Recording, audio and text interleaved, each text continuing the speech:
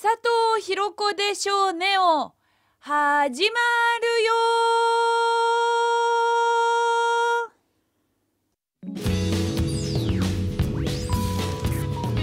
Ladies and gentlemen, this is 佐藤ひろ子でしょうね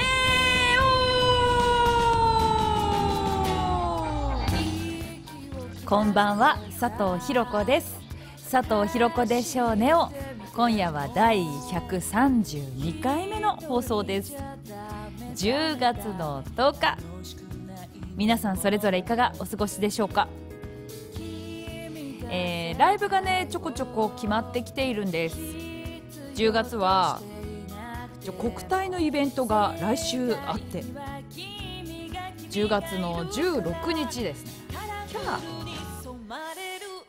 いやーこんな時期だけどこんな時代だけどやっぱりね来年2022年には栃木県で42年ぶりの国体が行われるわけ。小スポに関しては今年初めてだからね。ぜひね皆さん本当に注目していただきたいですしもう大慌てで B ダッシュで駆け上げてみんな駆けあか駆け上げ駆け上げてとかしな？駆け足でみんなで盛り上げてもらいたいってそんな風に思ってんだよね。10月の16日土曜日栃木国体のイベントございます。詳しい情報なんかは佐藤ひろ子のホームページブログあと県のホームページにも詳細載っておりますのでねそちらでご確認いただければと思いますがまあここのところめっぽう私はもうテレビばかり栃木テレビばかり出ておりましてあのー、ただやっぱこのテレビのお仕事始めて2年半ですかすごい勉強させてもらってね、あのー、楽しいなっていつも思っています。え昨日オンエアだった「とちぶら」の再放送もまた木曜日の夜8時から栃木テレビで見られますのでねそちらもぜひ合わせてみていただきたいんですが今夜も先週に引き続きゲストはイーグルプロレスの大野庄司選手。今夜はどんなお話聞けるでしょうか？お楽しみに。30分お付き合いよろしく。この番組は介護サービスアイケアステーション。干し芋王国戸崎農園。水道のことなら何でもお任せ。株式会社水井。餃子ストラップでおなじみ石川畳店の提供でお送りします。まずは1曲お送りします。国体の話題出たからこの曲いくよ。佐藤ひろ子が歌っている2022年に行われるいちご一会栃木国体一期一会栃木大会のテーマ曲「いちご一会」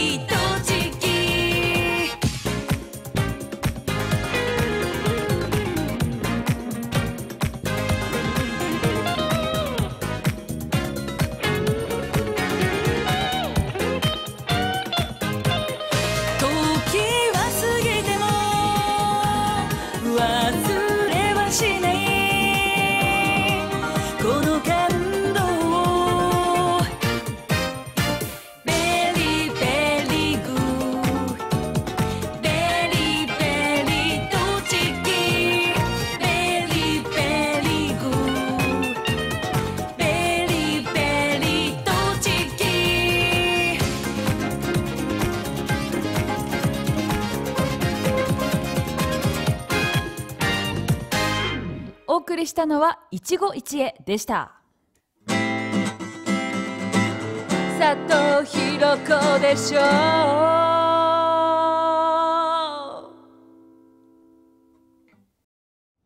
さあ今週のゲストの方登場です。自己紹介お願いします。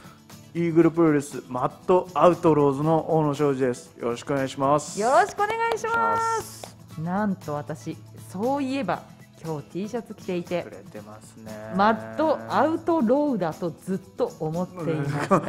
マットアウトローズズだった。今後は必ず言うようにしています。本当にただの悪いやつにな 悪いやつラらねえそんな悪いやつでおなじみの大野さん、あなたは誰やねんと思いのえ方もいるかなと思いますので、改めてちょっとどういうことされてるのかっていうのも教えてください。えー今日は何しに来たのっていうのをね、はい。何しに来たんですか？あんた何しに来たねんって思いの方いっぱいいると思うので。僕もよくわかんないです。わかんないんかい？わかるやろう。ええー小山市を中心にやってますイーグルプロレスでプロレス活動をしてます大野昌司です。よろしくお願いし先週ははいなんか介護とか。なんか一瞬そんなことを言ったり、ラーメンとかっていうワードがちょっと出てきたんですよ。あーはいこの二つの話今日はします、しません。どっちにします？もう全然もう聞いてもらえればしてもいいですし。します。しますあ、か。ちょっとします。施設の宣伝になるかな？あ施設の方はあのそうですねメディカルソフト株式会社であの、ググってもらえればうんうん。あのホームページ出ますんで、うん。見てもらえれば。は いこれはどういった会社なんですか？あの介護福祉ですね。すげえ。え、これ社会福祉法人じゃなくて株式だから？うちは株式会社で、やってますんで。ごい、はな何系の施設？福祉の。い、福祉の、福祉っていうかえーサービス付き高齢者向け住宅いわゆるえー左高住って言われるもはいはいはいので、はい、あとはデイサービス。うんうんそれと訪問会ホームヘルパーのお事業をやってます。あ授業もやってるんだ、すごい。そっかどどこでやってるんですかこれ会社、あのー、真岡市のうん。旧二宮町ってえーやってまして、まあ、くげたって言うとうん。あの分かる方いらっしゃるかなとうんうんうんいちごの有名な、はいはいはいはいはいははい、そここの施設の名前もメディカルソフトでやってるんですか？す説明はですねリリーフホーム石島っていう。ちょっと待って。石島さん、ね。石島っていう。エリアか。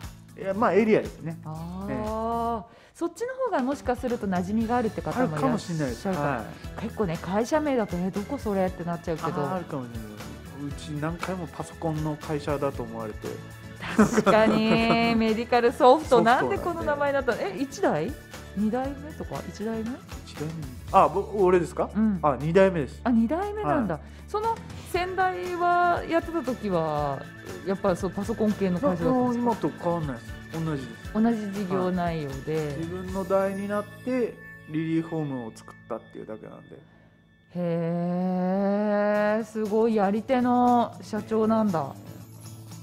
いろいろな方々に協力してもらってはい。助けてもらいながらやってます。どこにどこで覚えた長台詞？目をつぶってマイクに向かってどこで覚えた長台詞ですけれどもね。まあね福祉系ってもいろいろありますからね、はいはい。ちょっとまたこの辺ちょっとレクの話とかもいつかしたいなと思うんですけど、はい。あとラーメン。はい。ラーメンを実は今日収録が終わって、まあ、緊急事態宣言中なんで、うん。ラーメンとかご飯食べいけないねとは言ってたんですけど、俺めっちゃ作るねんって LINE でね、はいはいはい。写真も見せていただいたんですけど、はいはいあれ何人で何なんですか？まあもともとはうん。ラーメンを作るっていうよりもチャーシューを作るのにハマってはでチャーシューを作る段階でそのタレをそのラーメンとかあとはチャーハンに入れたりとかはいはいはい。うんいろいろなんかこう使い方があって、まあ、そのタレの作り方は教えられないんですけど。なるほど、はそのチャーシューを作ってたらばはい。やだなんかラーメン合わせたくなっちゃったわと。はいはいラーメンの作り方を教えてもらって。スープもじゃあ作ってみましょうかと、は麺は打たないさすがに。いさすがに麺は打たないですね、うんうんうんうん。あとスープも取らないです。あそうなんだ。あのそこはちょっと市販のやつで。へえうわうまそう。めちゃくちゃお腹空いてきた。いやいいですねでまあぶっちゃけて言えば、うん。佐藤さんがもうちょっと前もって、うん。えー今日撮る日を言ってくれればうん。用意したんですけど、マジ？あそんな感じだったんですね、もうはいそれ言ってくださいよ。そう用意持っていくからねして。たつもりなんですけど。え持ってくよとは書いてないただ写真だけ送られてきてそれに対して美味しそうって答えて終わりました。じゃじゃーんってあお 俺こういうのももできるんだ特技で。っていう写真でした。こういうつもりじゃなかったね。なんだそれあやチャーシュー作るの2日かかるんで。ゲ ーそれって自分の施設で振る舞ったりもするんですか？しないです。しないんかい。千のしないです。先週ですね、はい。まあ20キロの、はい。まあ別にダイエットとかではなく、はい。ただただトレーニングをしてたら、はいはい。まあ体重が減ってしまったと、しまったっていう言い方が正しいのかわからないけど、はい。まあ絞ってるに、でいいんですか、はい。絞りましたね。絞ってえっ、と何キロから何キロになったんでしたっけ？えっ、と95キロから一番体重落とした時で70キロ。ですこれやっぱチャーシュー効果なんですか？あではないです。あないんかい。あのないの？さすがにはい。落としてる時はラーメン食わなかったです。そうなんだ。えそれどのぐらいの期間でバッと落とすんですか？大体1年かけて、うん。えー、と80キロ台にしてうん。2年かけてあとうーん70キロまで行きましへーそのじゃあ2年間は、はまあそのラーメン食べてないってたこと？あのなんだろうその前がうん95キロの時が大体週1で必ず食ってたんで、なチャーシューをラーメンを？ラーメンを。ラーメンをね。お店だったり自分で作ったりで大体週あ1じゃ聞かない2日3日食ってたんで。あの私その SNS 見てまた食ってんなと思食ってなっってまて思ってた方いると思うんですけどあと合はい。間にかき氷食べたりまた出たかき氷。パンケーキ食べたり。あまあ女子女子え力、ー、とあとあと焼肉率高いあですよね。焼肉率高いですね。ていうか私食生活見てますよ。はい。結構そうですね。そこからまあどのぐらいのペースになるんですか？この2年間食生活としてラーメンはでも食べるはラーメンはでももまあ月12回多くて2回。あーまあそのなんだろうたまにはたまには食べるっていうだけで。それって、うん。まあ、例えばですけど、はい。女性って、まあ、月のね周期のものがあるじゃないですか、だから、はい。今この期間中ダイエットをしても、うん無駄っていう時間がき週間はい。1週間ぐらいあって、はい。その時に、まあ、暴飲暴食ではないけれど、まあなんだろうちょっとご褒美っていうか少しダイエットを緩やかにさせる人って多いんですけど、逆に男性ってどうなんですか？この回はどうなんですかね。もうずっと1ヶ月の中でそういうサイクルなくずっとダイエットとかい。痩せることが可能な体ではあるんですか、可能だと思います。ただ停滞期みたいのもああるりますあります。あるんだ。自分の場合はうん。だいたい1週間から2週間23キロパッて落ちたと思ったらそこからちょっと止まってうん、うんでまた23週間してやっと23キロ落ちるっていう。へそういう感じですから1ヶ月今今75なんですけどうん。あ76かなうんうん今日測って76でこれを70キロにするとしたら大体うん1ヶ月ちょいかかりますね。へえあでもそういう自分の周期とか痩せ方とかが分かってるから、どうすればこのぐらい落とせるって分かるからもうってるんで。調整自由というか。そうですねそうなんだ。あの今から80キロにするのには1週間あれば十分なんですけど。ええー、そうなんだ。1週間。もう23キロだったらもう3日あれば十分ですね。大きくするのは簡単。簡単ですね。落とす方が自分の場合は。多分まあ増やすのが大変だって人も中にはいると思うんですけど今全然増やすのは苦じゃないんで。何かコツみたいのありますか？ありましたか、ウエイトを落とすコツっていうかまあ自分はですけどうん。朝はうん。朝だけが,、まあ、がっつりっていうわけじゃないですけど炭水化物を多めにとってでうん。昼も普通に食べてうん。夜だけ少なくしますね。ああ3食は食べるんだけども量をコントロールしてる。そうですね。で夜もトレーニングするのにやっぱおにぎりとかうんうん。バナナとかそういうの食べて、うんうんうん。まあ、あとはお腹が減ってれば食べるけど、うん。減ってなければ食べないあそう。そうなんですよ。なんか3食食べる人あるあるで、はあのーお腹空いてなくても時間だからあ食べるっていうお腹空いてないのに、い、え空いてないってことはエネルギー使ってないんだえからね。食べる必要ないと思っちゃう私です。はい。そう。そうか。やっぱでもそれそういうふうに一応コントロールしながら。ね。あとはこう体重見ながらうんあ今減ってないなあビールやめようとちょっと飲んどるんか。い ダイエット中のビール OK なんだ。あ僕は基本的には飲んでます。あそうなんだ。飲んでてちょっと最後の方だいたい12週間は抜くっていう形。へえそっか。でもねあの先週まだねあのーラジコではいはいまだラジコで先週分聞けるので、今日だったら、はいはぜひ先週と合わせて聞いていただきたいんですけどまた技が磨きがかかってるっぽいんでどうやら、はいはどうやらどうやら。ぜひその辺の話もいはい。あの先週のラジコを聞いていただきたいなと思うんですけどもうあっという間に時間が経っていて、早いですね。まあ、今日はとちょっとトークテーマが多かったので、はい。あれなんですけれども、まあ、ラジオを聞いているあのリスナーの皆様に何かお知らせしなきゃいけないことありますよね。はい。このままぬるっと終わっちゃいけませんよね。はい、はい。ちょっと告知を一つお願いいたします、えーイーグルプロレスえー YouTube チャンネルキラッチチャンネルで、えー試合配信してますんでぜひご視聴お願いします。そしてチャンネル登録も。チャンネル登録も。よろしくお願いいたしします。そしてそして大野選手としましては、他団体なんですが、えー無党派プロレス第三ブランドという、大会に一応出させていただきます。こちらが11月の13日はい。土曜日、はい。どんえー、と高島平区民会館かな、はで、えー、と私途中であの止まっちゃってるんですけど、はい。区民館になってますけど、はいえーこちらで試合が行われるということなので、はい。これは配信とかはなく会場だけですか？あこれ会場だけだと思います。はい。もう絶賛チケット発売中。あ発売中です。はい、うんうん。ぜひ買ってもらえれば来てもらえれば。まあただ今ね正直コロナの状況があるので、うんうん。まあ大会自体もその感染状況でどうなるかわかんないんですけども、うん。まあ一応今のところはやる予定でいますんで、うん。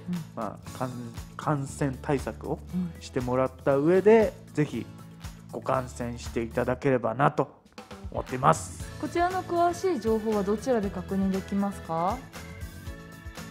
えーと えーと大野さんのツイッターかな？あツイッターの方見てもらえるか、うん。あとはその無党派プロレスというところで開催する予定なんで、うん。えー無党派プロレスさんの SNS、ツイッター、えー、Facebook うん。を見ていただければなとかりました。ぜひその辺の情報もチェックしてみてください。はいそれでは最後になりますが、ラジオを聞いているリスナーの皆様にメッセージをお願いいたします。はい、えーイーグルプロレス今なかなか活動ができない状況ではあるんですけどもお YouTube でえー試合を配信したりとかあとは各選手ですね所属選手はあの他団体の方で試合をやってますのでぜひぜひぜひ試合を見ていただければなと思いますのでよろしくお願いします燃える男たちの勇姿をぜひご覧ください。これは燃えてないですけど、ね、燃えてないんかい。ただ悪い男。悪いただ悪いた男。だただ そうですよ。モーカのマット、ああマットアウトローズですからね。マットアウトローズそうですよね。モーカのね。ええぜひ皆さんチェックしていただきたいと思います、今夜のゲストはイーグルプロレスから大野昌司選手でしたありがとうございましたありがとうございました。光り輝いた。水滴一つで震える心は巻き戻せるから。無責任につぶやいてしまう。コピーペーストで。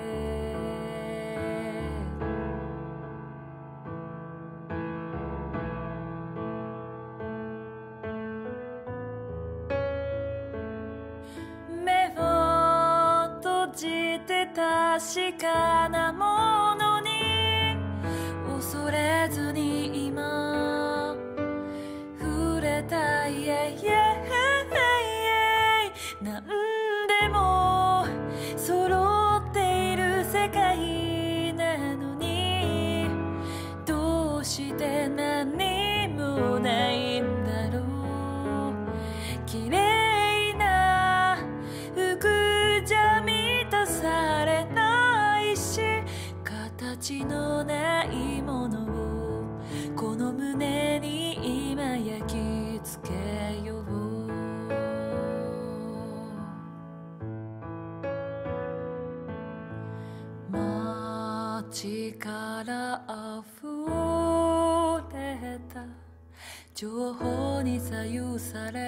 心に蓋をして不安を隠せない。麻痺してゆく日々を追いかけてしまう。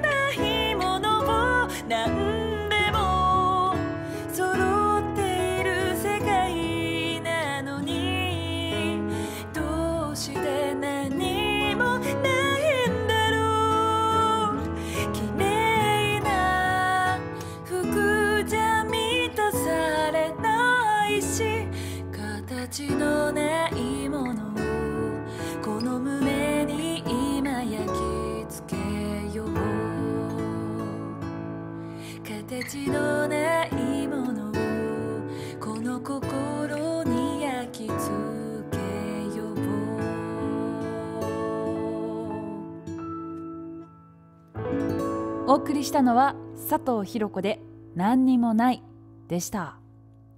さあ今夜の放送いかがだったでしょうか？2週連続ゲストで出てくれた大野昌司選手本当にありがとうございました。本番中に大野昌司は言えるし選手も別々なら言えるんですけど昌司と選手が合わさった時に昌司選手昌司選手って何回もね噛んでしまってねいや言いにくいっつってわーガシジャンガンジャンガジャンガジャンガジャンガ何回も取り直してしまいましたそこばっかりをね。大変失礼いたしました。大野昌司選手にお越しいただきまして本当ありがとうございました。えープロレスとか全然想像つかないとお思いの方もいるかもしれませんがこのイーグルプロレスのですねリングコールを、えーやらせていただいていた時があってまだ本当1回とかしか結局やれなかったんだけどまた機会があればね YouTube やってるっていうんだから声かけてほしいよね。なんかファミリーとしてはちょっと寂しいななんて思いますけど。あの正直って私大きい声で呼ぶので皆さんねぜひよろしくお願いします。それで僕の名前ラジオネーム呼んでほしいという。マニアックな方がいらっしゃったらそれも合わせてメッセージ送ってください。10月のメッセージテーマ寒くなってきたら欲しくなるものです。教えてください。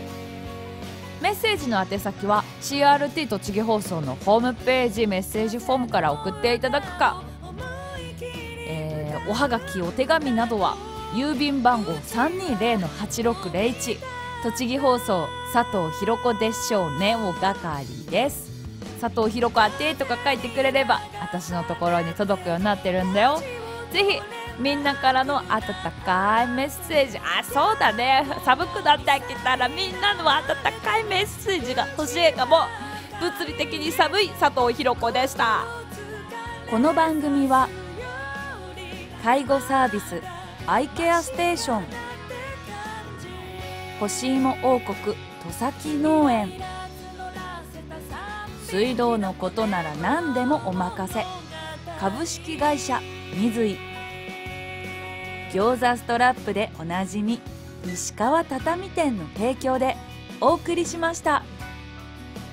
明日もいい日でありますように。